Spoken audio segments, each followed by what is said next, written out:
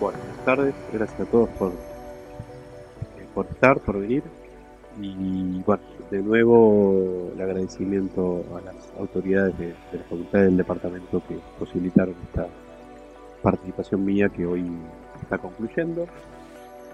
Eh, efectivamente pretende hacer de algún modo una complementación y contrapunto de la conferencia inaugural. La conferencia inaugural del lunes de la otra semana eh, habíamos presentado una mirada panorámica del desarrollo del comunismo en la Argentina desde sus comienzos, antes de la propia conformación como partido, en 1920, de la etapa, digamos, conformación de 1911, 1912 a 1920, y luego las dos décadas y media que eh, siguieron hasta el desenlace de los años 43, 44, 45. En esa conferencia del lunes, del lunes 8 de abril eh, ya habíamos eh, acercado algunas reflexiones eh, sobre cuestiones que hoy vamos seguramente a profundizar. Pero bueno, quiero en todo caso darle el encuadre específico que tiene este, este encuentro, que los que no han concurrido a las clases, lógicamente la mayoría, eh, este es, de alguna manera está condicionada por, el curso, ¿no? el desarrollo del curso. Llevamos, ya hicimos cinco encuentros sobre la historia del comunismo como parte del seminario que, estamos, que dictamos con, con Sergio sobre comunismo en Argentina y en Chile. Entonces llevamos, en mi caso ya llevo cinco clases hablando del comunismo en Argentina, de tres horas cada clase, llevamos 15 horas hablando Así que hemos dicho unas cuantas cosas, de modo que no vamos a repetir. Algunas eh, cuestiones las vamos a recuperar. Pero bueno, nos vamos a concentrar en el periodo planteado en el título, ¿sí? que está centrado en esta cuestión de qué ocurrió con el comunismo en la Argentina después de sus 25 años iniciales de desarrollo, en este, en este momento que significó un verdadero desenlace histórico inesperado, inesperado para para los comunistas, pero también para todo el resto de las fuerzas políticas, sociales en el país. Entonces nos vamos a detener con un eh, examen bastante puntilloso del ciclo que se abre el 4 de junio de 1943, cuando en la Argentina se produce un golpe militar, el segundo golpe militar, el segundo golpe de Estado. El primero se había producido en el año 1930 que había implantado la dictadura del general Uriburu y había abierto luego la etapa de los gobiernos conservadores de los años 30 y principios de los 40.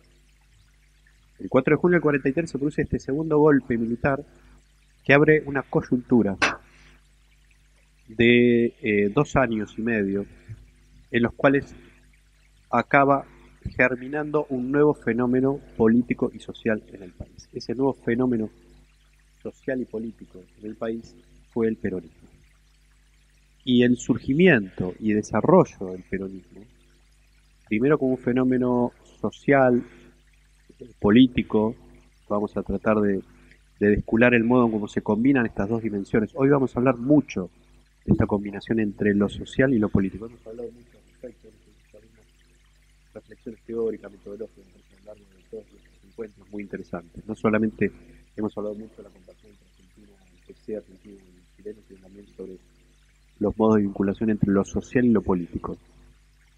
Y bueno, en esta coyuntura 43-45 esto es bien interesante porque ocurren una serie de cambios, transformaciones en la clase obrera argentina, la clase obrera y específicamente en el movimiento obrero, en el movimiento sindical, eh, que terminan afectando a los comunistas. El final de la historia ya lo conocemos, ya sabemos eh, que como en una novela policial, el, si el asesino fue o no el mayordomo, la historia es sabida. ¿eh? Eh, en una coyuntura, vuelvo a decir, usar por segunda vez la palabra inesperada, inesperada por todos, la historia concluyó con una derrota, una derrota de los comunistas y una derrota de la izquierda en su conjunto, ante el triunfo de este nuevo fenómeno político que en la Argentina no fue precisamente pasajero, sino notablemente duradero. Ese fenómeno es el peronismo. Es un fenómeno, este, nunca mejor empleado el término fenómeno, eh, de una notable durabilidad.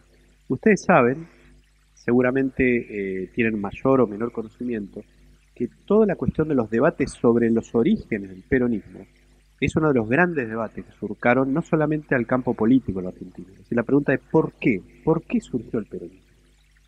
¿Por qué la Argentina eh, conoció eh, un acontecimiento o una serie de acontecimientos, en los cuales por supuesto algunos fueron este, muy épicos, como la concentración del 17 de octubre de 1945, cómo es que ocurrieron esa serie de fenómenos que concluyeron en el triunfo político, electoral y político de Perón y su, acceso al poder, ya definitivo como presidente, a mediados de 1946 y se inició toda esa serie de transformaciones. Que... La pregunta es, ¿por qué ocurrió eso? No estaba en el, no estaba en el, en el signo de las cosas, no estaba si bien uno puede explicar de que hubo elementos, hay elementos previos ¿eh? en el desarrollo social, político, que permiten explicar ese desenlace, hay otros que son, son no, no esperables. Eh, vuelvo a insistir sobre esto porque en buena medida quiero tratar de recrear lo que fueron las enormes dificultades eh, de los comunistas, y no solamente de los comunistas, del conjunto de la izquierda, para posicionarse ante algo para lo que no estaban preparados. El Partido Socialista, fundamentalmente el Partido Comunista de los años 20 y 30, como hemos visto con mucho detalle en, nuestro seminario, eh, el Partido Comunista venía ganando una presencia eh, significativa en el movimiento obrero. Y desde la segunda mitad de los años 30, de hecho, se iba proyectando como la corriente que estaba dirigiendo el sindicalismo industrial. Es decir, de no haber ocurrido el acontecimiento del 4 de junio, la aparición fulgurante de la figura de, ese coronel llamado Juan Domingo Perón, no es en lo más mínimo hacer eh, un juego demasiado, demasiado osado de, contra, de historia contrafáctica, sostener que para mediados de los años 40 o fines de los años 40 el Partido Comunista sobre la base de la experiencia de dirección del sindicalismo industrial, iba a proyectarse como la dirección del conjunto del movimiento obrero. Porque en un país en donde que experimentaba tasas de crecimiento industrial tan altas, en donde lo que aumentaba era precisamente el volumen del proletario industrial, dirigir a los sindicatos industriales lo proyectaba como la dirección del conjunto del movimiento obrero. Eso quedó claro ya para principios de los años 50. Muchos de mis alumnos en el seminario habrán escuchado que yo utilicé la palabra eh, espina dorsal para referirme al gremio ferroviario. La espina dorsal del movimiento obrero en sus primeros 30 o 40 años fue, la, fue el gremio del ferroviario, desde 1922 llamada Unión Ferroviaria.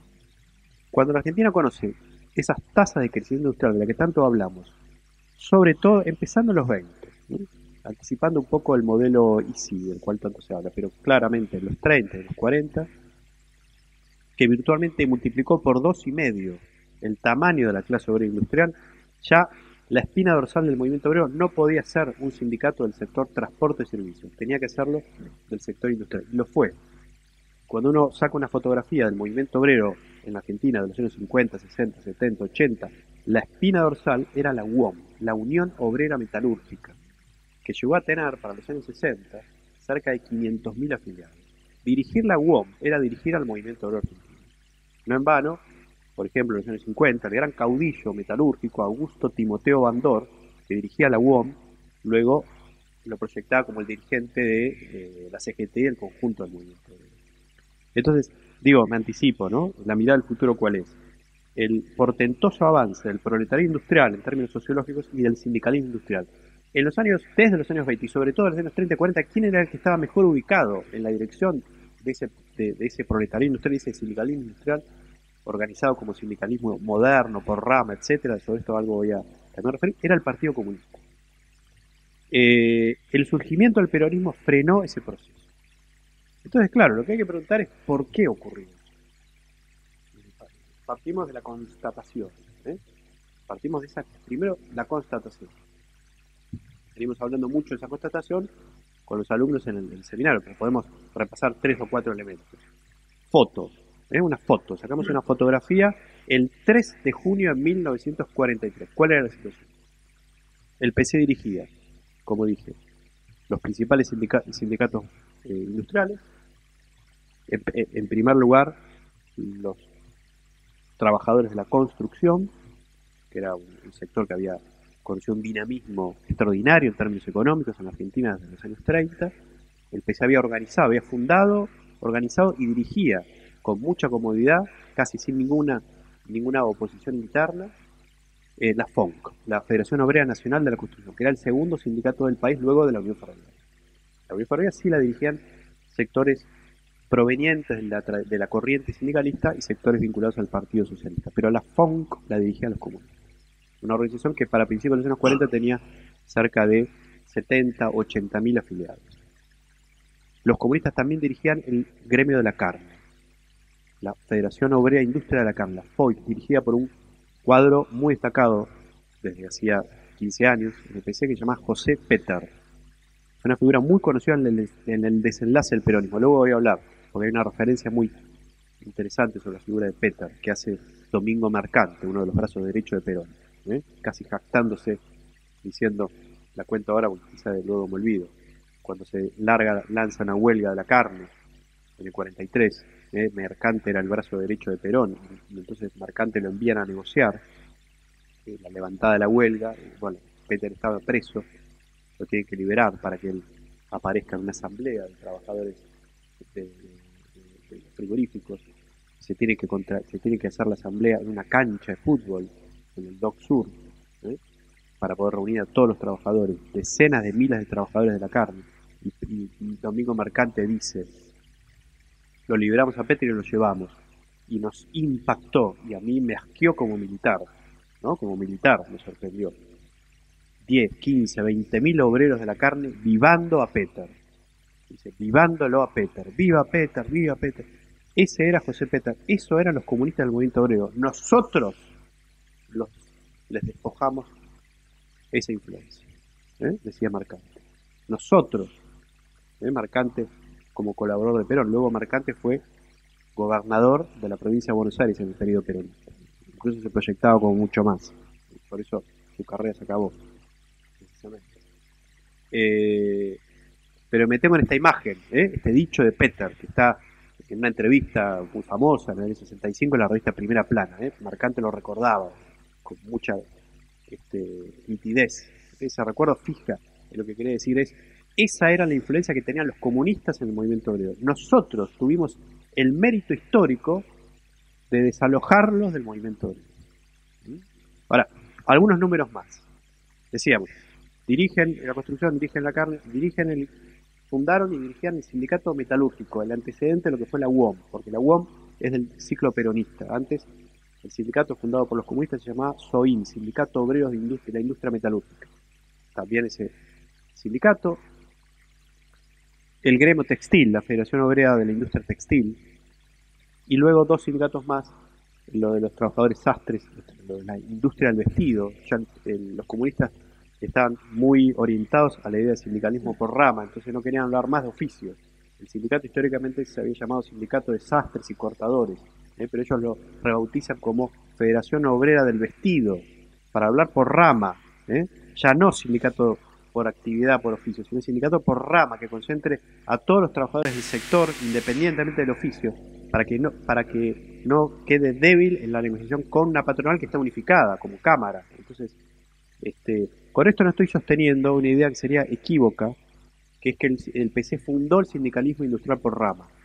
En realidad la idea de trabajar con el concepto de sindicato por rama ya estaba siendo propiciada por socialistas y sindicalistas de los años 10 y sobre todo de los años 20. Lo que sí sostengo, y creo que he demostrado con mis investigaciones, que el PC desde los 30 y principios de los 40 se convirtió en un gran, en un gran fogueador del modelo de sindicato por rama. ¿eh? Es un nuevo tipo de sindicalismo. Se pretende eh, lo, que, lo que pretendían los comunistas, ver, tres o cuatro eh, componentes, que, es interesante porque también podemos ver una perspectiva comparada con Chile, a ver cómo se dio. Ellos hablan para los 30, principios de los 40, de un sindicalismo de masas, que sindicaliza a todos los trabajadores. No puede haber ningún trabajador de la rama del sector, no importa su oficio, su calificación, su salario, ninguno fuera del sindicato. Hay que gremiar a todos para tener poder en la lucha y en la negociación con la patronal. Entonces, sindicalismo de masa.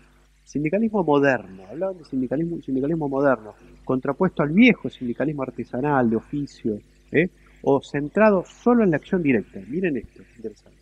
El comunismo está diciendo, la acción directa es útil, es una de las acciones del sindicato, pero esta debe ser complementada con otro tipo de acciones. El sindicato tiene que hacer otro tipo de cosas. ¿Y qué tipo de cosas? Bueno, tiene que hacer, por ejemplo, acción social.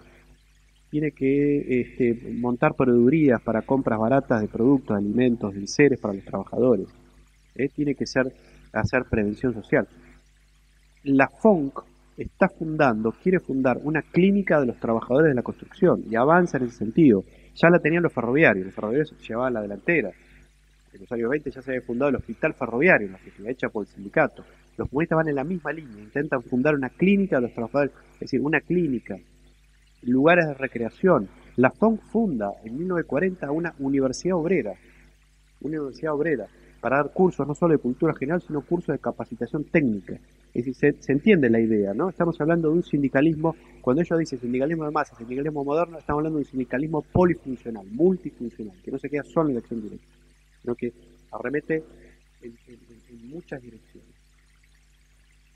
Un sindicalismo, además, eh, con altos niveles de centralización. Ya no, no cabía el sindicalismo de, de tipo asambleario, eh, centrado en la pura espontaneidad, sino un sindicalismo que tenía que eh, tomar las, este, bueno, las responsabilidades de lo que era un sindicalismo moderno, que tenía que tener niveles de centralización y de profesionalización. Eso implicaba tener una cantidad de rentado, el, sindicato necesitaba una cantidad de profesionales. El PC avanza en esa línea, por lo tanto supone, no hay que temer a la denominación burocratización. El, comunismo estaba avanzando en la línea de mayor jerarquización, profesionalización, es decir, de burocratización del movimiento eh, al mismo tiempo, como, como sindicalismo moderno, industrial, de masas, tenía que tener un sólido trabajo en la base. Entonces hay un tema a nosotros nos resultó muy interesante eh, trabajar con, algunos equipos de, nuestros investigadores, de uno de mis discípulos especistas que trabajó específicamente ese aspecto, Diego Ceruso, mostrando cómo el desarrollo de las comisiones internas y cuerpos de delegados, que es ustedes seguramente alguna vez habrán escuchado, que algunos han definido que esa es casi una de las grandes especificidades del movimiento sindical en Argentina. ¿eh? Algún autor, Adolfo Gili, dijo, lo definió como la anomalía argentina. Esa ahí radica una de las dificultades para, la que, para, para, para que la patronal, para que la burguesía argentina haya podido dar vuelta completamente a la relación de fuerza entre el trabajo y el capital. Es muy fuerte en Argentina el poder de las comisiones internas, ¿sí? las comisiones internas o cuerpos delegados, es decir, esas instancias de base. Además de que el sindicato puede ser más grande, más fuerte, más poderoso, por, por la base hay, eh, y muchos creen que esa institución de la comisión interna es peronista, es decir, está asociada al peronismo. Es cierto que el peronismo la generalizó, como generalizó el sindicalismo, pero en realidad la historia de esos organismos de base, esas comisiones internas o cuerpos delegados, son preexistentes en Perú. Son de los años 20 y sobre todo los 30 y principios de los 40. Y fueron precisamente los comunistas los que más empeño pusieron en la formación de este tipo de organismos. ¿Eh? El libro de, de, Diego, precisamente, se llama La izquierda de las fábricas, es una historia del desarrollo de las comisiones internas. Y él muestra cómo entre los metalúrgicos, los textiles, de la construcción, de la madera, iban formándose ya importantes experiencias de comisiones internas. Es decir, cuando aparece el peronismo, lo que va a hacer el peronismo, Perón cuando llega al poder en el 46 y monta una, ley de asociaciones profesionales, una ley de, sindical, lo que hace es reconocer un organismo que era preexistente. Ahora, yo no sé si ustedes advirtieron entonces que muchos de los elementos que son asociados al modelo sindical del peronismo, cuando dice, bueno, el peronismo, ¿qué hizo con, la clase de argentina? Bueno, montó un poderoso movimiento sindical, con grandes sindicatos, moderno, de masas, polifuncionales, bueno, eh, con comisiones internas, casi todos esos elementos característicos del, del modelo sindical en el peronismo estaban siendo formulados previamente. Y, el, y los comunistas eran los que más que estaban, eh, estaban proyectados en esa línea. Faltaba un elemento diferenciador, faltaba un elemento no menor, que es la vinculación con el Estado. Es decir, lo que tuvo de específico, lo que va a tener de específico la irrupción del peronismo, si uno ve una historia global, el desarrollo del movimiento sindical, lo que tiene específico el peronismo a partir del año 46 es que introduce al Estado, no es que lo, introduce por primera vez, porque ya había forma de penetración del Estado, ¿no? Ya existía el DNT, el DNT empezaba a arbitrar los conflictos, mediaba, ya había avanzado con la legislación laboral. Pero lo que ocurre a partir del 46-47 con el peronismo es cuantitativa y cualitativamente muy superior. El Estado entra en el movimiento obrero, tanto entra en el movimiento obrero, tanto entra que muchos sostienen, y no me opongo decididamente a eso, a que en realidad lo que significó la experiencia del peronismo para la clase obrera argentina fue un fenómeno de estatización, estatización del movimiento obrero. ¿Sí? los sindicatos, alguna autora, una gran investigadora canadiense que tiene un extraordinario trabajo sobre el sindicalismo en la década peronista, que se llama Luis Doyon, dice, bueno, la CGT y los sindicatos a partir del 46-47 quedaron como virtuales agencias estatales. Sería quizá exagerado ir tan lejos, pero sí es cierto que los sindicatos pasaron a quedar fuertemente regulados por el Estado, tan regulados en lo más básico, en su base material. Ustedes saben que en la Argentina, a partir de la ley sindical habilitada por el peronismo a partir del 46-47, ya los, los el sostén financiero del sindicato que se hace por cobro de cuotas ya no es voluntario, sino que es obligatorio, es compulsivo.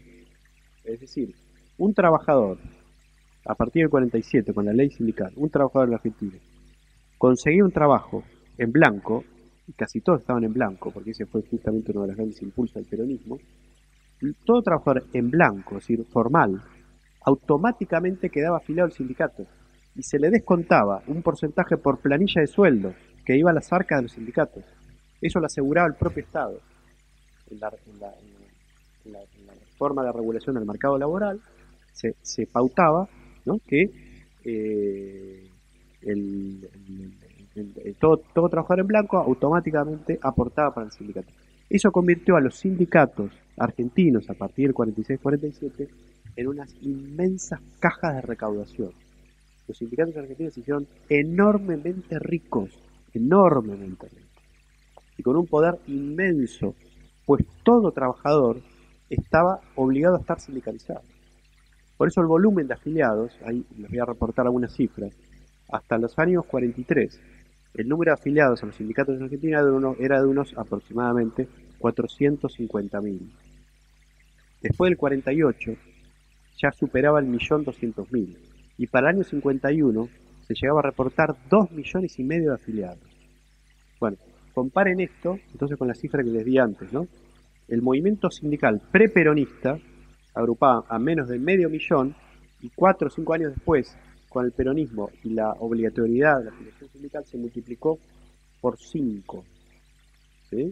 Esto convirtió a la CGT y a las federaciones, el modelo sindical peronista trabajaba en un esquema de sindicalismo de tres grados, el primer grado era la CGT, es decir, la Confederación Madre, el segundo eran las federaciones por rama, y luego los sindicatos por región.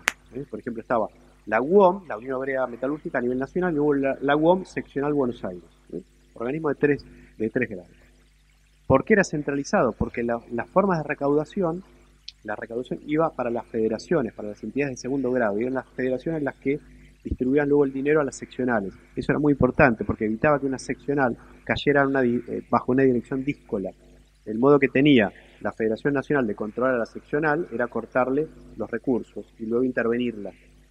Esa es la razón por la cual, a partir del 46-47, se monta una poderosísima burocracia sindical, no solo por los medios materiales, sino además porque garantiza su reproducción, porque ya no hay posibilidad de que sea desalojada. ¿eh? Se instaura el método de la elección virtualmente con la lista única, la lista que ganaba se llevaba la totalidad de los cargos, se, se pulveriza los modos de representación para las minorías, entonces los elencos sindicales, no casualmente que eh, toman el control de los sindicatos a partir de 46, 47, 48, luego permanecen a lo largo de los años, están garantizadas por una ley que los ampara. Entonces, esto es muy importante de tener en cuenta. Y me olvidé un dato fundamental, fundamental, quizá con el que tendría que haber empezado. El modelo sindical peronista garantiza la representación única. No hay competencia sindical. El Estado reconoce un solo sindicato por actividad, por rama, y una sola confederación. Solo existe la CGT y solo existe un sindicato por rama. No hay posibilidad, es decir, en el modelo sindical peronista ultracentralizado no hay ningún lugar para el pluralismo sindical, ninguna organización por fuera. Puede existir, pero el Estado no la reconoce, por lo tanto el sindicato no puede negociar salario, no puede hacer nada. ¿Está claro? Entonces es un modelo, estamos hablando, ese, Ahora, ese es el proceso de coronación, ¿no? Es un proceso de coronación al cual el peronismo le agrega otros aditamentos. Lo que yo estoy señalando es que ya en algún sentido, algunos de los ladrillos de lo que va a ser ese modelo de sindicalismo de masa centralizado tan poderoso que surge en la Argentina, había empezado a ser puesto en los 30 y 40 paradójicamente por los comunistas. ¿Eh? Paradójicamente por los comunistas lo que empezaron a poner. Bueno, lo cierto es que perdieron la partida. Vuelvo al inicio. ¿no? Hay un desarrollo que viene creyendo en una dirección, en ascenso, y en el 46 se frena por el golpe y por la irrupción del de peronista. Entonces, vuelvo a la pregunta con la que convocaba la conferencia. Comunismo y movimiento obrero, una, un signo de interrogación, con dos componentes.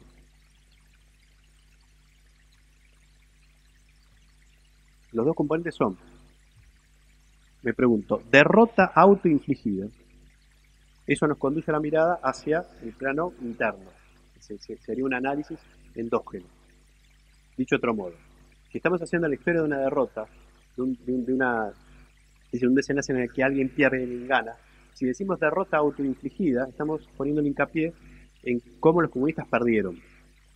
¿Por qué perdieron? Ellos perdieron. Ahora, cuando, como en un partido de fútbol, cuando uno, eh, uno puede decir perdió o el otro ganó, ¿eh? ganó el otro, uno puede poner hincapié. Decir derrota autoinfligida significa que ponemos las luces, ¿no? Eh, los focos, sobre los errores que el, perdedor puso en, juego. ¿no? entonces, ¿por qué perdió? ¿Cuáles fueron las razones que lo condujeron a esa, a esa derrota? Ese sería entonces un análisis en clave interna. Vamos a hacer ese ejercicio, pero alertando que durante muchos años, muchas décadas, en la Argentina hubo una historiografía que eh, abordaba esta problemática bajo este énfasis. Es decir, poner en los desvaríos o en los errores estratégicos o tácticos o de otro tipo del comunismo y o, de la izquierda en Argentina las razones por las cuales perdió. Perdió, digamos, el pulso de la historia y triunfó un nuevo movimiento como el peronismo. Esta fue una variante. Fue muy popular en los años 50, 60, 70, por ejemplo, toda una historiografía y toda una ensayística en clave nacional popular, nacional popular de izquierda, eh, que planteaba que estos errores no solamente eran los errores de las estrategias que habían adoptado los comunistas y los socialistas, sino casi era un problema de tipo esencial, esencialista. El problema era que la izquierda argentina, la izquierda comunista, la izquierda el socialismo, el comunismo en Argentina habían sido eh, partidos esencialmente antinacionales y que no habían logrado comprender la esencia nacional argentina. Habían sido incapaces de poder interpelar a los trabajadores, habían sido partidos de inmigrantes, o algunos decían ni siquiera negaban, por ejemplo, el peso obrero que había alcanzado el PC, decían siempre fueron partidos pequeños burgueses, y algunos le, daban cierta entonación este, literaria, decían eran, eran partidos de la pequeña burguesía este, portuarios, ocupaban el lugar que les dejaba la oligarquía portuaria de Buenos Aires eh, para que hagan el jueguito de colocarse a la izquierda, pero en realidad le daban la espalda a las grandes masas populares, sobre todo a las masas populares del interior, a la clase obrera criolla, etc. Y bueno, pagaron el precio de la historia. El peronismo se lo lleva puesto porque en realidad el peronismo representa los auténticos valores populares y nacionales de los trabajadores y del pueblo argentino, y bueno, eh, esa izquierda eh, estaba condenada por la historia. Esa mirada creo que siempre ha aportado muy poco, ha aportado textos literarios interesantes para leer, pero muy poca rigurosidad histórica. Pero con más rigurosidad uno podría pensar que, bueno, más allá de, que hay que evitar, como, suele, como en general uno debería evitar cualquier tipo de análisis en clave esencialista, ¿eh? Eh, siempre una explicación tiene que tener una explicación historiográfica, tiene que tener, ¿no? Tiene que evitar la trampa del esencialismo, del análisis esencialista, decir, bueno, ¿no hubo acaso problemas en la estrategia que los comunistas estaban aplicando? ¿No hubo acaso problemas en la estrategia que el PC estaba aplicando en el movimiento obrero? Bueno, vamos a revisar esta cuestión. Nosotros veníamos hablando en las clases que el Partido Comunista venía desde el año 1935 sosteniendo la línea del Frente Popular. como ocurría con todos los partidos comunistas del mundo, a partir del séptimo Congreso Internacional del 35 se había este, impulsado la línea del Frente Popular. Esa aplicación del Frente Popular había planteado para el PC todo un diseño muy distinto que el que venía teniendo desde el 28 con la estrategia de clase contra clase. Esa línea del Frente Popular planteaba que el eje se ratificaba que el, objetivo fundamental del partido era promover, impulsar una revolución democrática agraria antiimperialista, lo cual requería la formación de un gran frente, en lo que se convocaba a esa gran alianza social a, sectores de la burguesía nacional, comprometidas en la lucha contra la oligarquía y el imperialismo, sectores de la pequeña burguesía y por supuesto la clase obrera. Y en términos políticos, la traducción de esa alianza social era una, un frente en la que el Partido Comunista consideraba que necesariamente debía estar, pues el PC representaba los intereses de la clase obrera, pero que en ese frente debía estar sí o sí también la Unión Cívica Radical, el Partido Radical que expresaba los intereses de la, podemos decir, burguesía democrática de las clases medias. También debía estar el Partido Socialista, definido como un partido de los trabajadores o los sectores populares con un programa reformista, y el pequeño Partido Demócrata Progresista fundado por Lisandro de la Torre, que ya había muerto en el año 38, pero que todavía subsistía con cierta presencia en la provincia de Santa Fe. Bueno, esa era, esa era la coalición deseada. Como vimos en las clases, desde el año 35 el PC pugnó por la formación de ese frente. ¿eh? Año tras año convocó a los radicales, convocó a los socialistas a formar el frente. Fue el campeón de la unidad y de la formación del Frente Popular. Incluso cuando no lo logró en el plano electoral, en 1937 impulsó la candidatura del radical Marcelo T. Alvear. ¿eh? Ni siquiera, como charlábamos ayer, ni siquiera la de un socialista, ¿eh? pues la verdadera candidatura unitaria, aunque fuera estuviera a la derecha del socialismo, era debía ser la de Alvear y la del radicalismo, porque la UCR era la fuerza más poderosa. Sin la UCR no podía haber Frente Popular. Bueno, esa fue la estrategia global del, del PC que se aplicó a nivel del movimiento obrero también una política unitaria a favor del Frente Popular. Bueno, hubo un interregno, lo estuvimos viendo, 39-41 con eh, el periodo de la neutralidad, ¿no? que suspendió un poco el Frente Popular, pero a partir del 41, con la invasión eh, nazi de la Unión Soviética, reapareció con fuerza, con vigor el Frente Popular. Muy bien. Se venía con la línea Frente Popular. Era fuerte el movimiento obrero. Yo venía listando los sindicatos que dirigía, la presencia que tenía. Trabajo de la construcción, de la carne, metalúrgico, textiles, de la madera, del vestido. Eh, era un partido grande. ¿eh? Para el año 43 era un partido grande. El periódico del PC, llamado Orientación, editaba 50.000 ejemplares. Era mucho para la época, 50.000 ejemplares. Y además del PC, además de tener un semanario, tenía un diario. En 1941 había fundado un diario llamado La Hora, que también con una vasta influencia.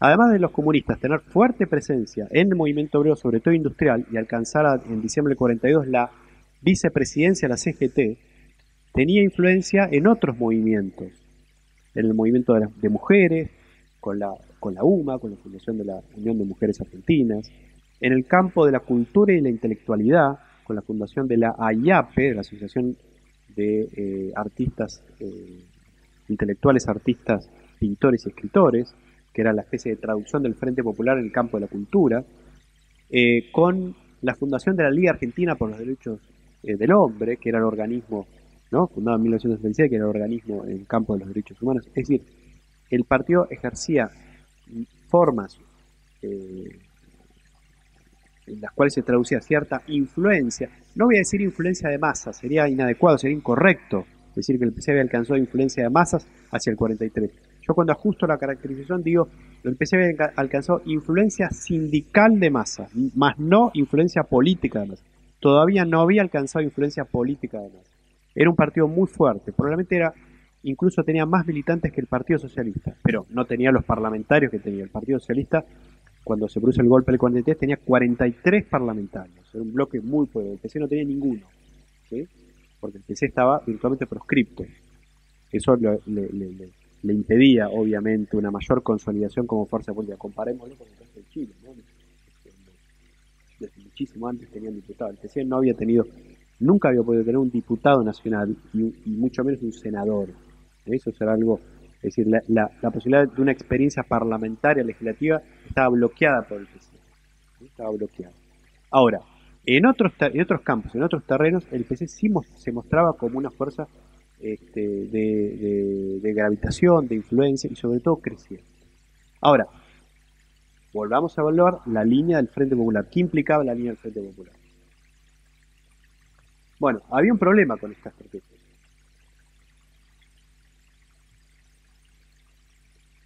Mejor dicho, con la aplicación de esta estrategia. Esta estrategia, sobre todo a partir del 41, sobre todo a partir del Frente Popular, la segunda etapa del Frente Popular, la que se abre en el 41 con eh, la invasión a la Unión Soviética, entonces un Frente Popular que para el PC tiene sobre todo interés en que se configure bajo un requisito previo, innegociable, que el Frente Popular luche por, el, por la derrota del nazifascismo, sobre todo en el Frente Oriental. Esa es casi la condición sine qua non para, para configurar cualquier Frente Popular. Atención, porque cuando uno empieza a ver los periódicos del PC desde el 41, 42, principio del 43, empieza a advertir que el eje programático el tipo de interpelación que hacen los comunistas está muy, muy corrida hacia, muy, muy virada, muy girada hacia eh, la defensa de las libertades democráticas. Y están subordinadas, o relativamente subordinadas, las reivindicaciones que tienen que ver con las demandas de los trabajadores. No sé si se entiende. Vuelvo a decir, cuando uno veía los discursos de los comunistas 41, 42, 43, el énfasis en la defensa de la democracia, de las libertades democráticas, de la lucha contra el fascismo, tenía un énfasis que hacía subordinar a eh, la reivindicación, las reivindicaciones inmediatas de los trabajadores. ¿Se entiende? Es decir, eh, estamos hablando de un partido que estaba eh, poniendo una excesiva relevancia en una, en la, en la digamos, en, la, en, una politización democrática, eh, distanciándola de la lucha por esas reivindicaciones mínimas de los, trabajadores. Con esto me estoy adelantando a una de las posibilidades que se le abre a Perón cuando irrumpe en escena e invierte exactamente el argumento. ¿eh? Pero Perón justamente va a potenciar todo el campo de la conquista de reivindicaciones inmediatas independientemente de su traducción política y su politización, si eso era fascismo, antifascismo, es decir, va a las cuestiones prácticas, ¿sí?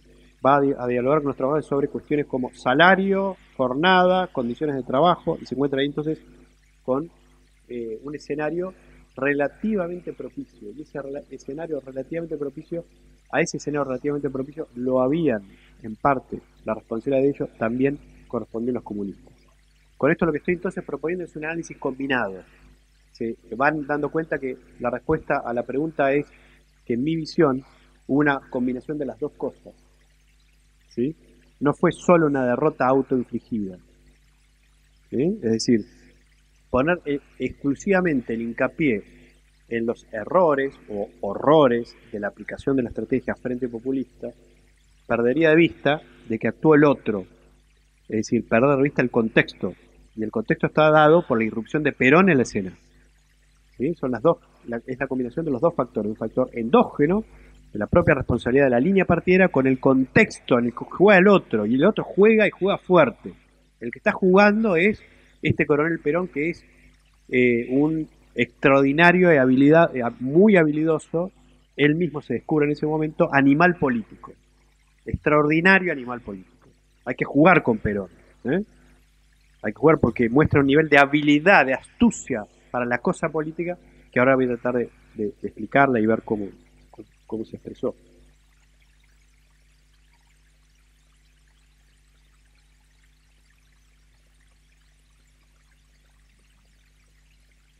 El golpe del 4 de junio instaura un gobierno militar.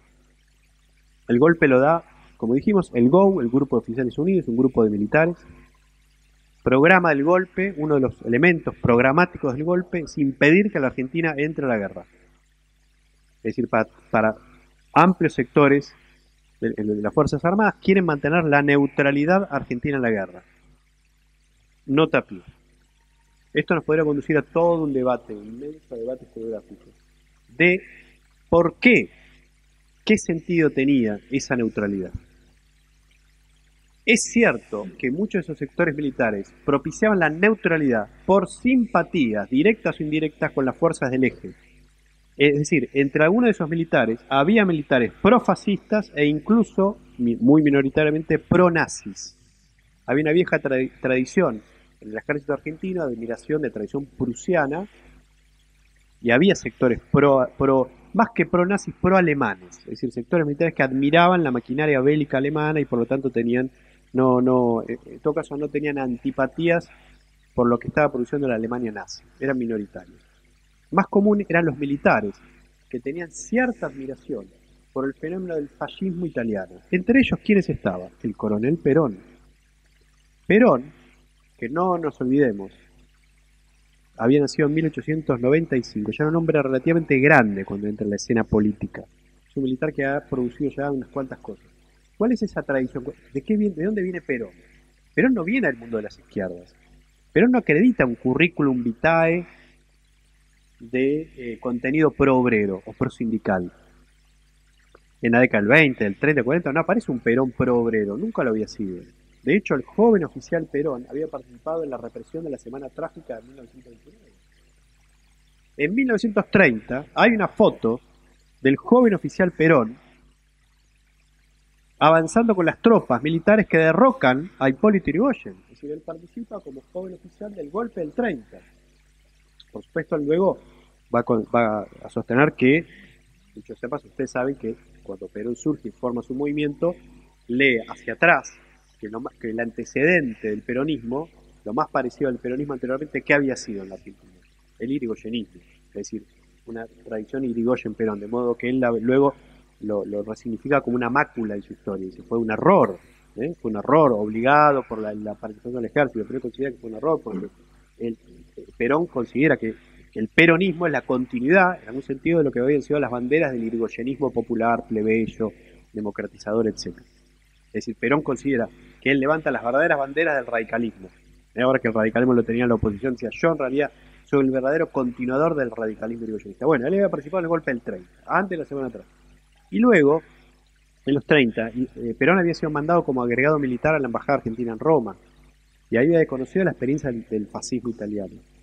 Y lo había conocido, incluso, no lo conoció directamente, pero había visto, que este, eso es, muy interesante, Perón lo comentaba en un eh, extenso reportaje que le hizo un gran periodista en Argentina llamado Tomás Eloy Martínez, que escribió un libro que yo recomiendo mucho para entender lo que fue el peronismo, que se llama La novela de Perón, una historia medio novelada, pero ahí hay mucho de lo que Perón eh, eh, realmente pensaba, ¿eh? porque con lujo de detalles le contó a Tomás Eloy Martínez, después de meses de entrevistas en Puerta de Hierro, cómo era, qué, tenía él en la cabeza en los años 20, 30, 40.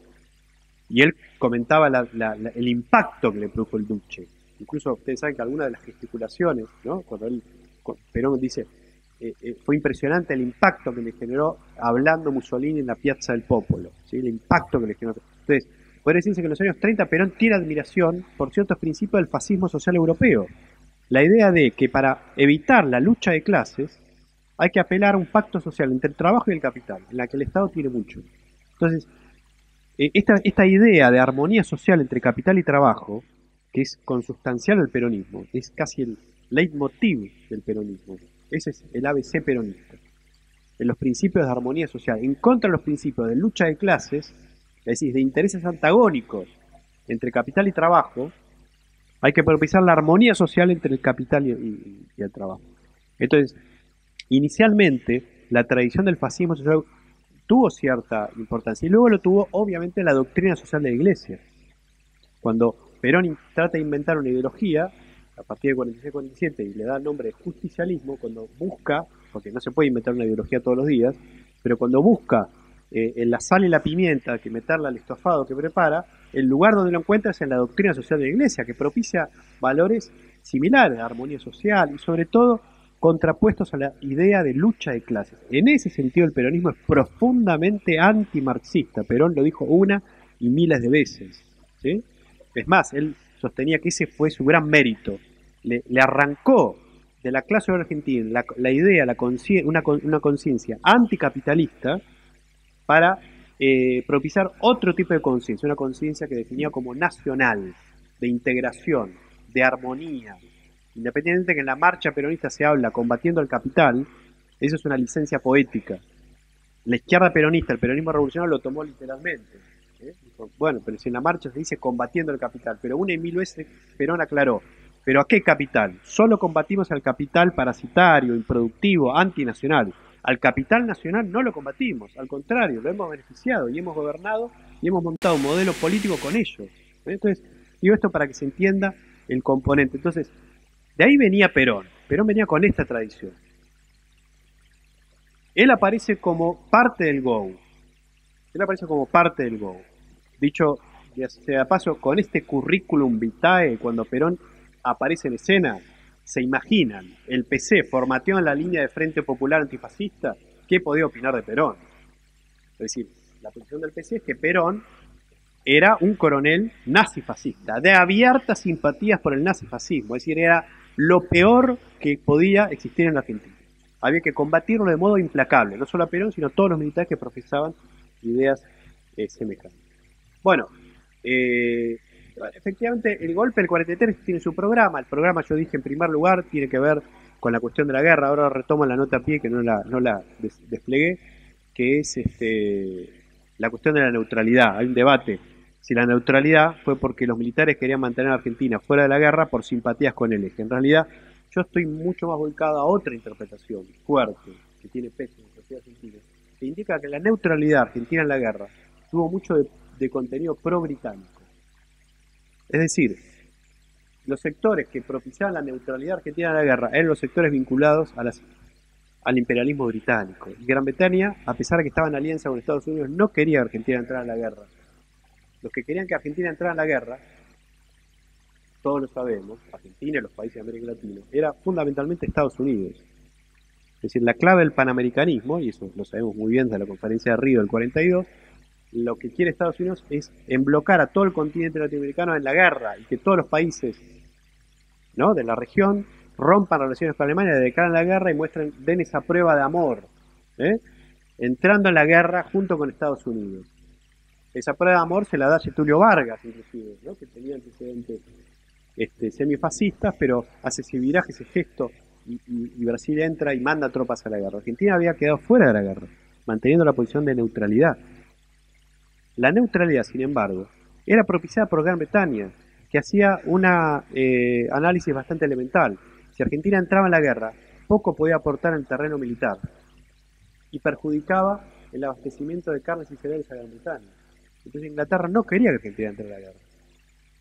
La que quería entrar a la guerra era Estados Unidos. Digo, acá hay un, hay un cruce de intereses contrapuestos. Entonces, la hipótesis que es muy interesante siempre discutir si el golpe del 43 tuvo en realidad componente pro-nazi o pro-fascista, o en realidad tuvo un componente pro-británico. ¿sí? Es decir, acá estamos dirimiendo una, una confrontación de influencias este, externas que, que hay que precisar. En todo caso, volvamos, para la izquierda, para los socialistas y para los comunistas, eso era un golpe de contenido pro-fascista. Lo trataron en ese sentido y lo combatieron en esa, bajo ese carácter. Eh, puntualmente el golpe, no casualmente, se produjo el 4 de junio, el día que se reunía la convención del PDN, del Partido Demócrata Nacional, que formaba la coalición gobernante, la concordancia, que iba a nombrar al candidato a presidente, Robustiano Patrón Costa, que, que iba a ganar a fines del 43, la elección a presidente. ¿Quién era Robustiano Patrón Costas? Era un gran abogado de, empresas petroleras del norte argentino vinculadas a capital norteamericano. Robustiano Patrón Costas anunciaba que de ganar metía a la Argentina en la guerra. Entonces, no casualmente, miren ustedes, el día que se iba a producir la convención que iba a nombrar Robustiano Patrón Costa, el día que se puso el golpe. Es decir, el golpe frena esa inserción argentina en, el conflicto. Pero más allá del problema bélico, ¿Qué otro programa se trata el, eh, el, golpe, digamos, el, gobierno militar del 43?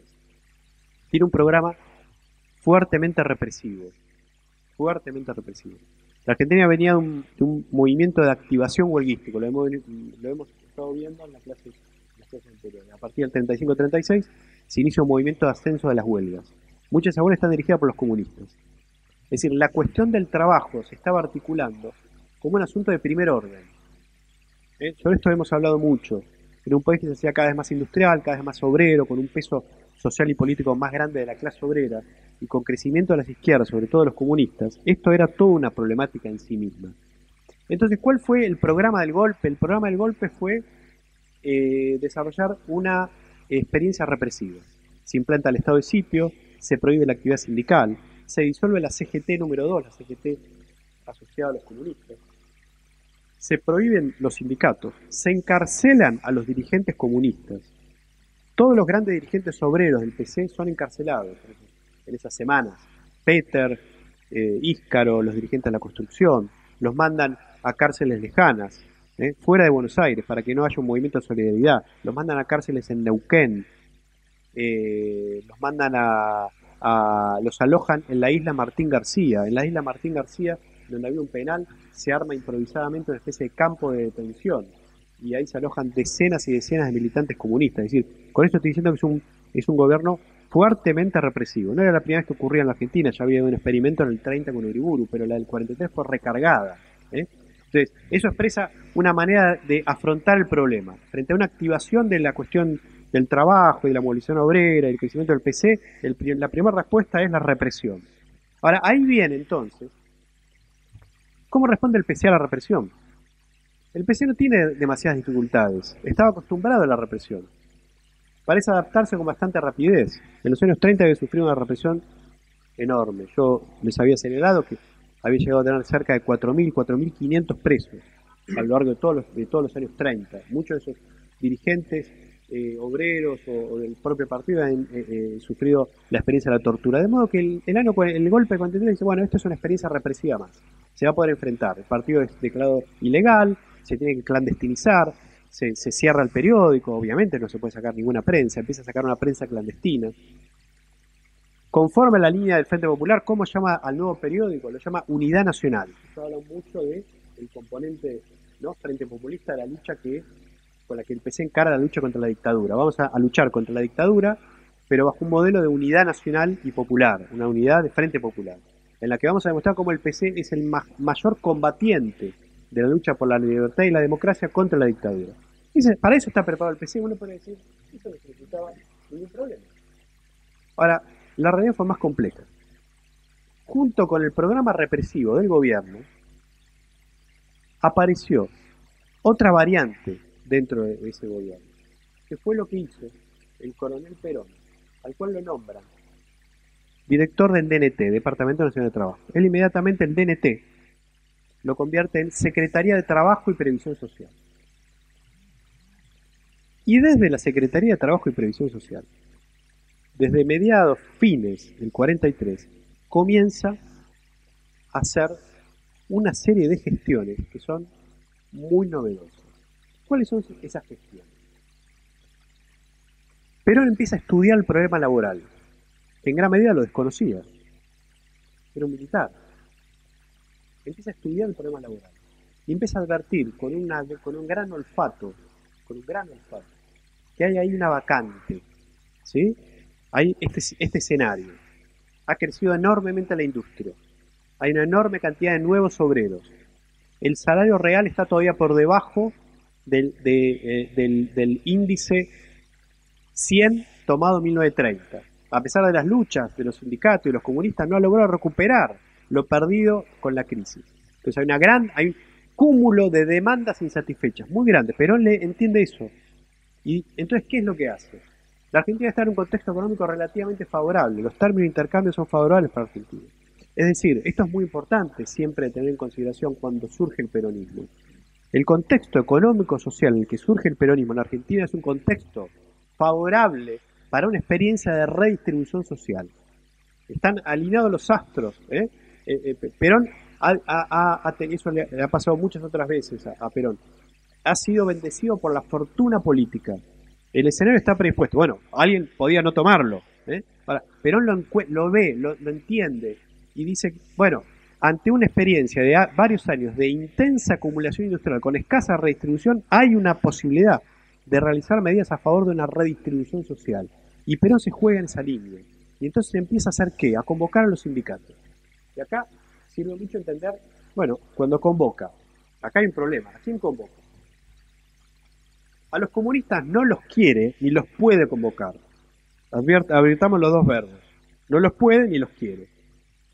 No, en primer lugar, ¿por qué no los puede? Porque están todos presos. Es decir, el gobierno los ha metido presos. Le, ha disuelto a los sindicatos, los ha prohibido, los ha ilegalizado. Entonces, Perón, segundo, si no lo hubieran hecho el gobierno, él tampoco los iba a recibir. Porque Perón se, se muestra, para el año 43, como profundamente anticomunista. Entonces, ¿qué es lo que hace Perón? Agarra el, digamos, el escenario, el, cuadro de, la estructura sindical argentina y otea y busca todas las estructuras sindicales que no le respondían a los comunistas y los convoca. Los convoca a las oficinas de la, de la Secretaría y los recibe y ahí empieza entonces el despertar de una fulgurante y nueva figura política en el país. El mismo Perón luego lo dijo, ni yo sabía que era tan hábil para hacer esto. ¿eh? Son, no sé si lo conocen, algunos han leído, son fantásticos los testimonios de las delegaciones obreras cuando van. Nosotros no esperábamos nada. ¿Cuándo una delegación obrera iba a esperar algo de un militar? Para la clase obrera argentina, no había ni siquiera ser un obrero revolucionario. Para un obrero argentino, ¿qué era, qué era la representación de un militar? Estaba asociada a la represión. De modo, miren ustedes la desconfianza que Perón tuvo que, doblegar. ¿eh? Pero la fue doblegando, los recibió sin saco, con, con arremangada la camisa, y hablando de manera campechana, de manera criolla, usando un léxico que Perón no tenía, porque Perón no provenía de un mundo popular plebeyo, era una clase media de, provincia, ¿no? No, pero no era, y además muy bien posicionado dentro del ejército, es decir, no era un hombre precisamente pobre, jamás había hablado con un obrero. Sin embargo, él mismo se despierta con una capacidad actoral de representación extraordinaria. Habla un lenguaje llano, directo, y le dice a los trabajadores en primer lugar, ¿qué quieren ustedes? ¿Qué les está pasando? Y las delegaciones le dicen, y pocos salarios. Y él se consustancia, emocional y discursivamente, dice, qué barbaridad, qué barbaridad la explotación laboral, no puede ser. Bueno, yo me voy a encargar de conseguirle lo que ustedes están pidiendo, tengan confianza en mí.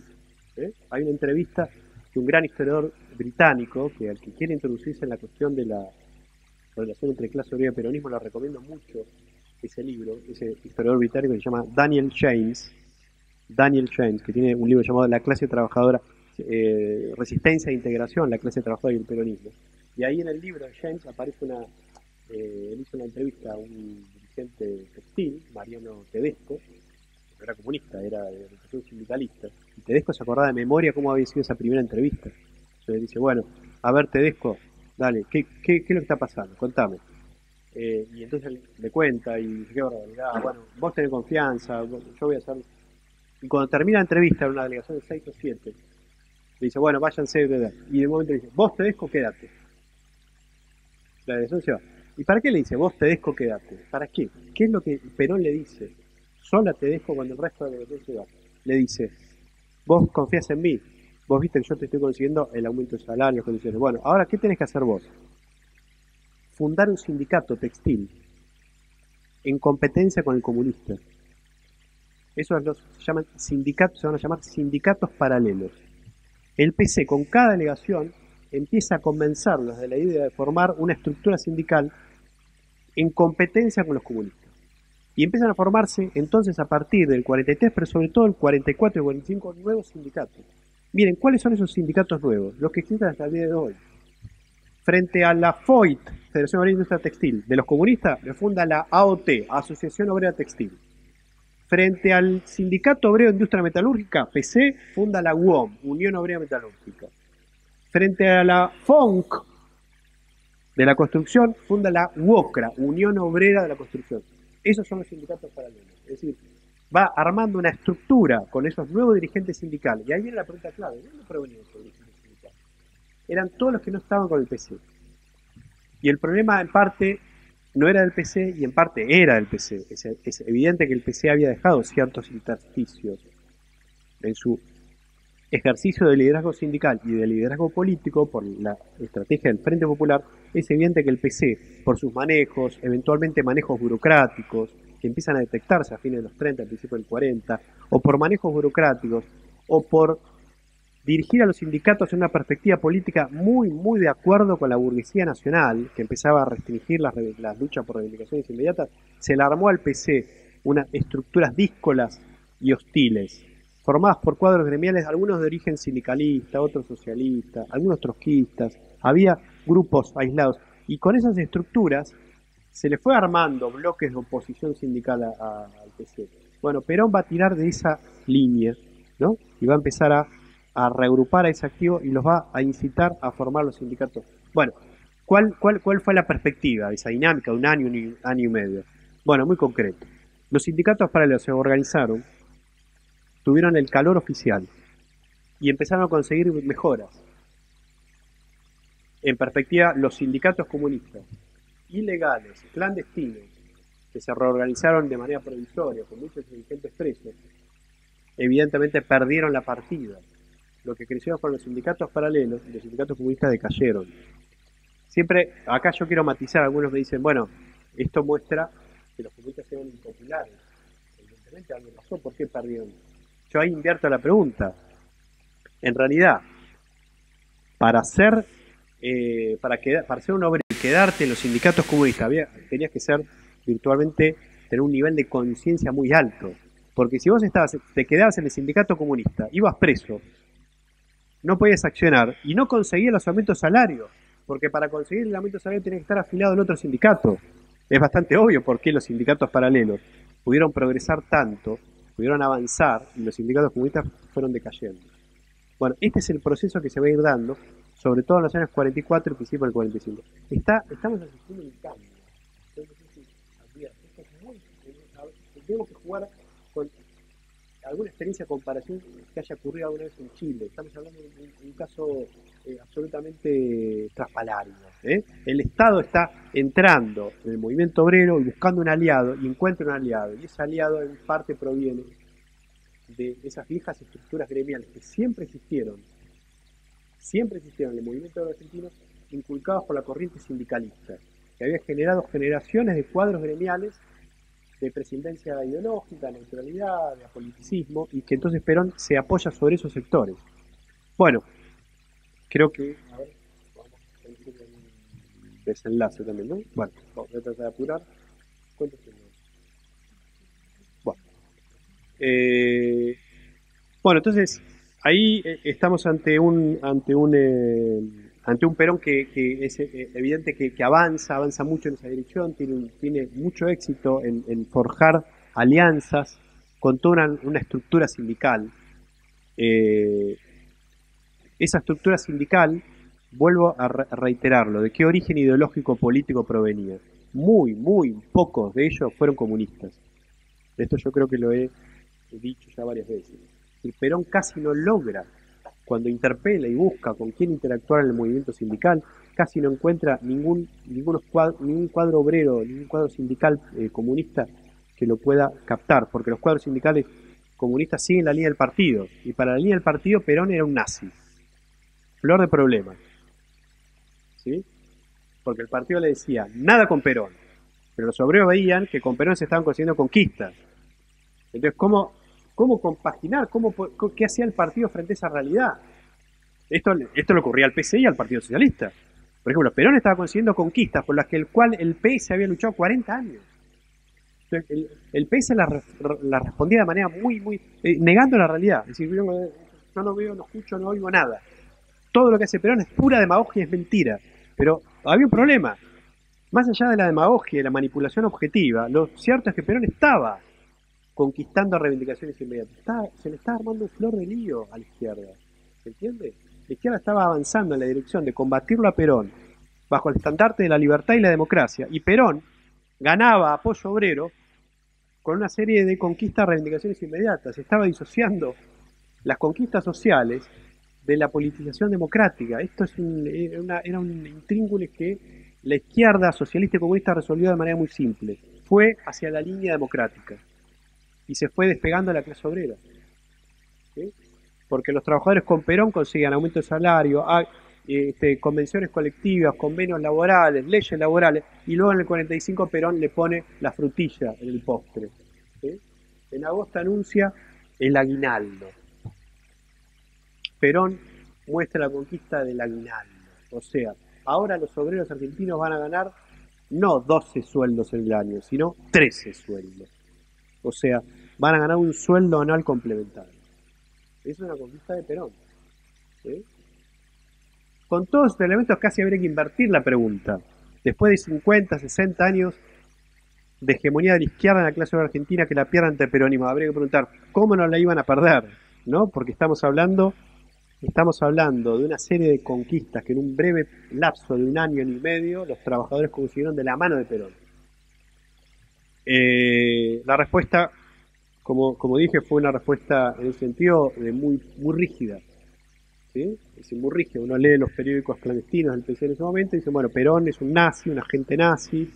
Eh, más aún, el PCN 44 se mete en una idea que no llega a cabo, pero intentó una insurrección cívico-militar. Es decir, intentó hacer acuerdos con sectores políticos, radicales, socialistas y con algunos sectores militares para derrocar el gobierno militar. Esa, iniciativa no llegó, pero fíjense que incluso pretendió la línea del Frente Popular Democrático Antifascista plasmarse en una suerte de insurrección armada, obviamente contra el gobierno de Perón. Bueno, eh, lo cierto es que vamos al desenlace, vamos a, la finalización y vamos, nos aproximamos a la, fase, acto 3 de la obra de teatro. Hay tres o cuatro, hay una cuarta inesperada. Pero vamos a la, a la 3. Perón, hacia mediados del 45, tiene la agenda con la A de amigos llena, llena de nombres de cuadros sindicales. O sea, tiene un elenco sindical, un historiador, un sociólogo argentino, que yo admiro mucho, eh, llamado Juan Carlos Torres, le acuñó un término la llamó la vieja guardia sindical. Entonces trataba, en lo más mínimo, como pensaba Gino Germani, este impulsor de la sociología científica, de la sociología de la modernización en Argentina, de obreros inexpertos, de una nueva clase obrera inexperta, atrasada, sin tradición. No, no, no, era la vieja guardia sindical. Todo un elenco de tipos que venían actuando en el movimiento obrero argentino desde hacía 20, 30, 40 años, que eran de origen sindicalista o socialista, pero que de manera pragmática se acercaron hacia Perón. Sobre esto hemos hablado muchas veces que muchos eran, tenían el carnet de afiliados al Partido Socialista. El Partido Socialista le decía, Perón es un nazi, enemigo número uno. Pero el tipo decía, y bueno, pero yo dirijo un sindicato. ¿Eh? Yo dirijo un sindicato. Es decir, ahí viene la prueba de fuego que ante eh, mantener la lealtad al partido o la lealtad al sindicato, la mayoría de los gremialistas del PS optó por lo segundo y se fue. Este, bueno, el eh, Perón entonces, hacia mediados del 45, estaba muy fuerte en sus apoyos en la clase obrera. Se había convertido en un militar obrerista. En un militar obrerista. En un hombre de derechas en sus anteriores convicciones, pero que estaba mutando. Porque si vos sos muy obrerista, no te podés mantener en una lealtad derechista. ¿Sí? Salvo que abogues por planteos consciente y coherentemente corporativismo fascista, cosa que Perón no tenía, porque era muy pragmático. Es evidente que Perón mismo estaba mutando. Ya Perón para el año 44, si la banda de fascismo decía, no, eso no me interesa. No sé qué, soy, lo que soy es amigo de los trabajadores, porque es lo que a él le convenía para construir un capital político. Es un militar excesivamente obrerista, bajo condiciones normales, ¿no? Para ser secretario de Trabajo y Previsión, demasiado obrerista. Mira, hay una cosa que es interesante. Cuando él empieza a, asumir el cargo, el dirigente, el presidente de la Unión Industrial Argentina, Colombo, se entrevista con Perón y dice que es fantástico lo que estás haciendo. Qué bueno lo que haces, Juan Domingo, porque combatís a los comunistas. Excelente. Te voy a apoyar totalmente. Perón dice, sí, sí, yo soy enemigo de los comunistas. Muy bien, Juan Domingo. Pero pasan las semanas y los meses. Y Perón a partir de su acuerdo con los trabajadores, comienza a propiciar el aumento de salario. Entonces Colombia le le dice, Juan Domingo, ¿qué está pasando? Sos anticomunista, pero cada vez te mostrás más amigo de los sindicatos. Entonces, con esto que quiero mostrar, que Perón, por un lado, acumula un enorme capital político con los trabajadores, pero empieza a abrirse frente de tormenta en tres direcciones. Se las apunto muy rápido. Primero, con, la, con los industriales. Los industriales le dicen, escúchame, eh, ¿cómo es esto? Porque nosotros simpatizamos, vos eras anticomunista, sos anticomunista, combatimos, perfecto, pero estás dando mucho. aumento de salario, convenciones colectiva, legislación laboral, el aguinaldo, esto, entonces el, el, empresariado le empieza a, sacar el apoyo a Perón, se enfría la relación y lo empiezan a atacar. Por eso Perón en el 44 los convoca en, el edificio de la Bolsa de Comercio, los reúne y hay, una, pieza discursiva, yo no tengo tiempo ahora para leérsela, pero es fantástico. Perón habla con lo que piensa y le dice a los dirigentes de la Unión Industrial, de la sociedad rural, al cureso de la patronal, le dice, no me ataquen, porque ya lo empezaron a atacar a Perón, le dice, no me ataquen más, porque yo lo que estoy haciendo es salvar sus intereses. ¿Cómo, cómo lo salvo? Combatiendo a los comunistas, pero al mismo tiempo avanzando con medidas de redistribución porque miren lo que está pasando en el mundo, 44, la Unión Soviética está ganando la guerra. Se viene un avance del comunismo. La manera de combatir el comunismo no es solo con la represión, sino también dando algunas mejoras. Bueno, evidentemente Perón no los convence, porque para los empresarios que pueden simpatizar con el planteo de combate al comunismo, la, él dice, se va a venir una revolución comunista. Bueno, los empresarios lo ven como un problema futuro. En lo inmediato eso implicaba que se obligaba a pagar mayores salarios. Entonces, a Perón le va mal esa reunión. ¿eh? Es decir, eh, el, sector patronal sale, sigue una línea muy antiperonista y empieza a pedir, entrado el año 45, empiezan a pedir la cabeza de Perón. Empiezan a plantear la separación. Perón ya no solamente es secretario de Trabajo y Televisión, sino que acumula el cargo de ministro de Guerra y luego vicepresidente. Se convierte en el hombre fuerte del gobierno. Pero mientras es fuerte, y sobre todo en su relación con los sindicatos, se empieza a debilitar porque la patronal la ataca y el segundo frente de tormenta es el de los partidos. Los partidos democráticos ganan la calle, los radicales, los socialistas, los comunistas, pidiendo que el gobierno militar se vaya, que convoque a elecciones inmediatas y que haga posible el retorno de la democracia. Entonces los partidos ganan la calle en grandes manifestaciones, sobre todo vinculadas al tema de la guerra. Por ejemplo, cuando se produce la liberación de París, se hace una gran manifestación de partidos democráticos que piden bueno, viva la democracia, viva la paz, bueno, y sobre todo piden que el gobierno se vaya, entregue el poder a la Corte Suprema de Justicia y haga elecciones, pero sobre todo piden la cabeza de Perón. Para, los partidos democráticos, ¿quién era el peor del régimen? ¿Quién era el, el sector más perverso del régimen militar? Era Perón, porque Perón le daba base de masas al régimen. Entonces piden la cabeza de Perón. La UCR, el PS, el PC, dice Perón es lo más pérfido del régimen. Y el tercer frente de tormenta es el con los militares. Los militares empiezan a recelar de Perón. Empiezan a decir, ¿qué está haciendo Perón? Está haciendo una carrera personal. Ese obrerismo descarnado, esa idea de movilizar a los obreros. Entonces, también los militares le bajan el pulgar. Y entonces viene el desenlace. ¿eh? La obra de teatro había comenzado, ¿sí? Por decir, la obra de teatro en la marquesina, un ensayo de redistribución social desde arriba. ¿eh? Perón y sus muchachos. bueno, esa es la, empresa política que ha diseñado Perón. ¿Cómo termina sobre el teatro? Termina con la derrota del actor principal. Perón pierde. A principios de octubre del 45, voy cerrando, estamos en el final, Perón finalmente es defenestrado, es expulsado el 17 de septiembre se hace una gran manifestación en las calles de Buenos Aires que se llama Marcha por la Constitución y la Democracia. En todos los partidos, todos, incluyendo el PC, que pone la movilización más grande, está muy filmada esa concentración, es muy impresionante. Dicen que fue la concentración más grande de la historia argentina hasta ese momento. O sea, la oposición democrática gana la calle y le pide al gobierno que se vaya, que entregue el poder a la Corte Suprema y haga elecciones. Pero sobre todo, ¿qué pide la marcha? La cabeza de Perón en la cabeza figuradamente, ¿no? es decir, que Perón sea expulsado del gobierno. Y los militares que están entrampados entregan la cabeza. A principios de octubre del 45, Perón es expulsado de todos los cargos. Y lo mandan detenido a la isla Martín García. Es una derrota hasta simbólica. No solo es expulsado y detenido, sino que es una especie de, de destierro. Es una derrota en toda la línea. Es decir, la obra de teatro, como dije, de este modo, con la, en la marquesina, con el actor principal bien grande, el nombre Juan Domingo Perón, ¿cómo termina? Con una derrota, es un fracaso, porque si Perón está fuera del poder, ha fracasado. Toda la empresa política se posibilitaba porque él está encumbrado en el Estado. Si pierde la presidencia del Estado, acaba todo. Perón entonces es echado, es expulsado. Pero antes de irse, toma la radio por última vez y convoca a los trabajadores a defender sus conquistas, sin pensar que ello tenga algún tipo de resultado. Y bueno, y Perón desaparece. Se cierra y termina la obra. Acá pudo haber terminado esta historia. Pero ocurrió algo. Y eso a veces la historia ocurren esos acontecimientos que cambian el tiempo. El avión chocando las torres ¿eh? del 2001. ¿Vieron? Que nadie, nadie lo espera. Ese acontecimiento que nadie lo espera se llama 17 de octubre. 17 de octubre. ¿Qué ocurre el 17 de octubre del 45? Bueno, todavía los argentinos nos cuesta explicarlo. en Chile, a ver qué es lo que ocurre.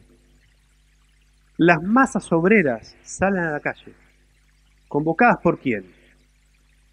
No por el Partido Comunista, que decía muy bien que Perón está preso, o por el Partido Socialista, o por los radicales, sino por cuadros gremiales que es lo que habían ganado cosas con Perón. Y dicen, para la clase obrera, para la vieja guardia sindical, dicen, una vez que alguien desde el Estado nos da estas conquistas, a ese tipo lo expulsan del Estado y lo meten preso. Se convirtió en una bandera. Entonces dicen, no pedimos nada más que una consigna, libertad a Perón. Y llaman, se hace una reunión de una CGT reorganizada y plantean para el 17 de octubre, para el 18 de octubre, por dicho, huelga general, con un solo punto, libertad Perón. Pero ocurre que los obreros se anticipan y salen de las fábricas y de las calles y van hacia la convergen, ¿hacia dónde? Hacia la Plaza de Mayo. Miren, hasta ese momento la Plaza de Mayo había tenido pocas consideraciones obreras, porque las marchas obreras no eran la Plaza de Mayo. Se ha estudiado muchísimo, esto lo han estudiado historiadores, sociólogos, críticos culturales, fue es, el, el, hecho, no sé si ustedes lo conocen, han visto, saben la significación que tuvo. El 17 de octubre fue un acontecimiento herético. Los obreros llevaron, muchos venían del partido de Avellaneda, de La Boca, caminando 40, 50, 70, 100 cuadras, ¿eh? un día de calor, en un febrero caluroso. Los obreros llegaron a la plaza, sacaban la camisa, los zapatos ponían los pies en las fuentes. La Plaza de Mayo era, una ciudad, era la plaza de un centro burgués. No era común que los obreros ¿eh? llegaran a la plaza y menos que se sacaran los zapatos y los pusieran en el agua. ¿eh? Es decir, la clase obrera ocupaba el centro del poder político y decía libertad Perón. El gobierno militar estaba atrapado, no sabía cómo bueno, lo termina liberando. ¿eh? Lo lleva al balcón y Perón se dirige a las masas agradeciendo. Bueno, ha ocurrido un hecho novedoso, un segundo acto inesperado. Una movilización obrera, que después podemos discutir qué carácter tiene, pero es una derrota para la izquierda. Es una movilización obrera que sale de otro lado, en contra de la izquierda. Pide la libertad Perón y la consigue. Y Perón es rescatado y es catapultado de nuevo a la escena política se abre el acto 2 de esta historia con un Perón triunfante, pero al mismo tiempo incómodo. Incómodo, porque le debe la victoria a quién? A los trabajadores movilizados. Tiene que compartir en la obra de teatro la figura de Perón está al mismo tiempo que quién? Que los cuadros sindicales que le han otorgado la libertad, la vieja guardia sindical. Perón no quería compartir el poder. Bueno, inmediatamente anuncia, se anuncian elecciones para febrero del 46, unas elecciones rápidas, cuatro meses después. Perón no tiene aparato político. Todos los partidos están en contra de Perón. Entonces, ¿a quién acude? A la vieja guardia sindical, que forma un partido de apuro y lo llama Partido Laborista. Fíjense el nombre, no Partido Peronista. Esto discutíamos ayer. Los cuadros sindicales no se veían supeditados a Perón, se veían de igual a igual. Nosotros, nosotros hicimos el 17 de octubre para rescatarte porque vos te convertiste en una bandera nuestra. Es, el, momento, la coyuntura de triunfo del laborismo. El laborismo se constituye el Partido Laborista y hace campaña electoral con escasos recursos a favor de Perón. ¿Dónde está ubicado el PC en ese, en ese proceso? Está enfrente. Está armando, ahora sí, con los socialistas, con los radicales, con los demócratas progresistas y con sectores del Partido Conservador, con el apoyo del embajador norteamericano, Sprill Braden, la Unión Democrática. ¿Y qué es la Unión Democrática formada en octubre, noviembre del 45? La primera vez que el PC le salía el Frente Popular. Que es un Frente Popular averiado, muy averiado. Vean sus componentes. El embajador norteamericano. La intervención del embajador norteamericano fue aberrante, tanto que a Perón le para hacer campaña electoral tomando ese eje. Dijo, En, el 24 de febrero del 46, la elección es entre la Unión Democrática y la coalición que a mí me apoya. Es entre Braden y Perón. Braden o Perón. O sea, el pueblo argentino tiene que votar o al embajador norteamericano, que es el padre de esa criatura llamada Unión Democrática, o a Perón. O a mí, que soy el abanderado de, las causas nacional y popular y de la clase trabajadora. Ese es el, modo como Perón resignifica, es un golpe de propaganda política extraordinario. Entonces, como ven, es apasionante estudiar el modo como se termina conformando lo más parecido a un frente popular como el PC quería, lo, lo vino planteando desde el año 35, le sale en el 45, pero le sale bajo la mácula de componentes eh, muy complicados, muy complicados. Siempre el PC pensó que detrás del Frente Popular iba a estar la clase obrera, pero miren lo que ha ocurrido. La clase obrera no está detrás de la democrática, solo una porción. Los trabajadores que todavía organizaba el PC, la mayoría de la clase obrera había quedado del otro lado, había quedado en la coalición peronista. Vamos a decir que en la elección del 24 de febrero del 46 fue una, confrontación entre dos coaliciones. Una de Frente Popular, muy a la derecha, porque es un Frente Popular con el embajador norteamericano, con sectores del Partido Conservador. ¿sí? Es, un Frente Popular muy a la derecha.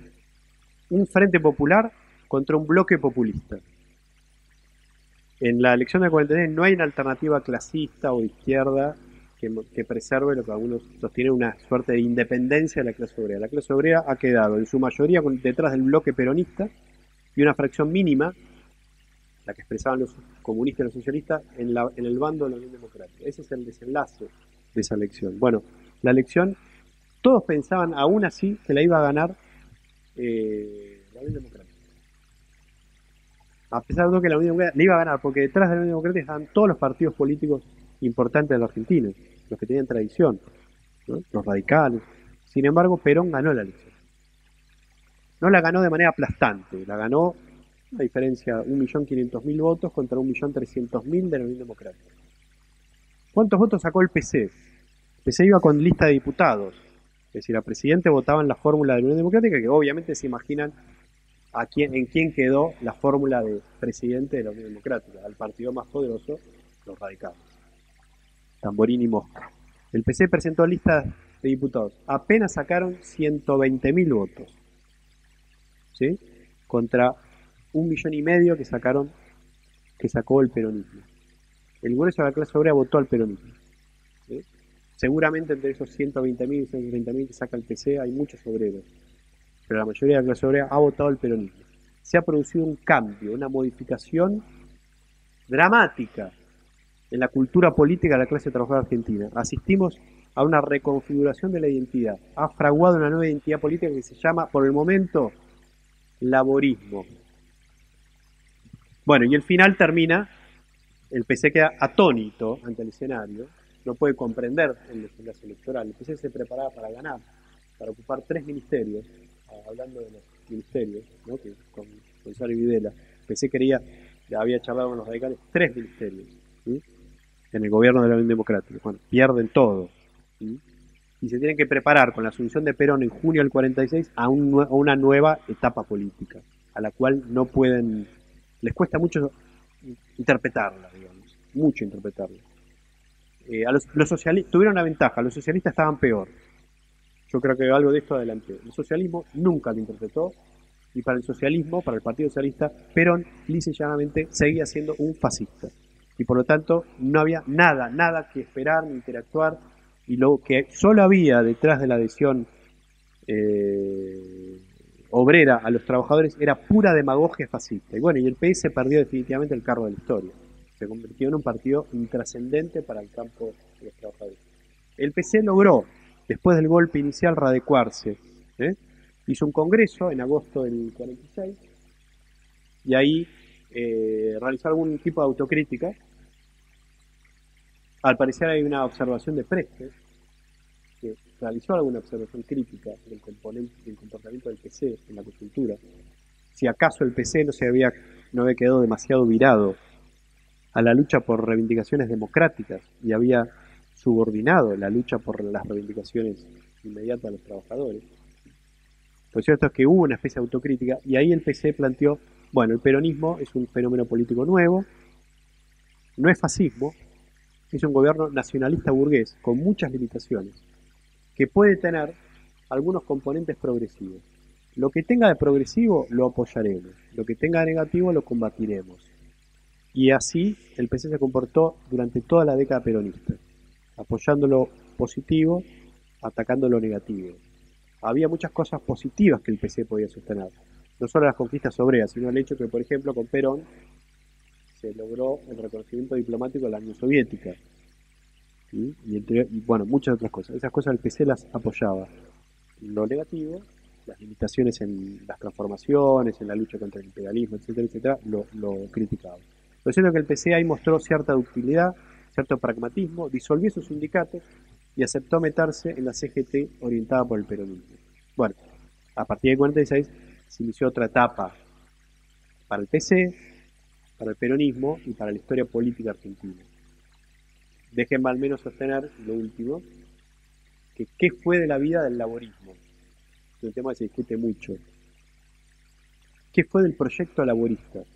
del proyecto de esa vieja guardia sindical, que después de 20, 30 años pugnó, pugnó, pugnó, pugnó por obtener conquistas, preservar la autonomía.